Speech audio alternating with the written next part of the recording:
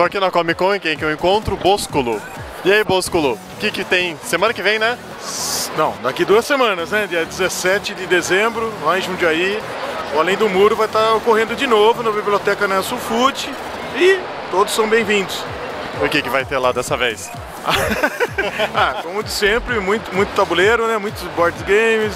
Vamos ter também é, os jogos de game é, clássico na, na, parte frontal ali da entrada, né? É, teremos também muito RPG também. como convidado especial, essa semana a gente conseguiu fechar. O mestre Alaban estará lá. Sim, eu vi. É, o Sérgio Alaban vai estar lá. Ah, o Fel Barros também estará. Legal, lá. bacana. Você Pode provavelmente estará lá também, é. olha aí, ó, olha aí, ó. Já faz três edições que eu exato. falo que eu vou. Exato, exato. Vou tentar ir dessa e vez. E vamos tentar fechar com chave de ouro agora em, em dezembro, né? Que Sim. será o último desse ano, né? Sim. E aí, todos estarão, serão muito bem-vindos. Sim. E o que, que você achou desse ano, assim? O crescimento do evento? Do Além do Muro, né? Além do Muro, claro. ah, cara, a gente cresceu bastante, né? A gente saiu de um espaço onde a gente tinha uma média ali de 150 a 200 pessoas e a gente atingiu uma média ali de 350 pessoas nesse outro local.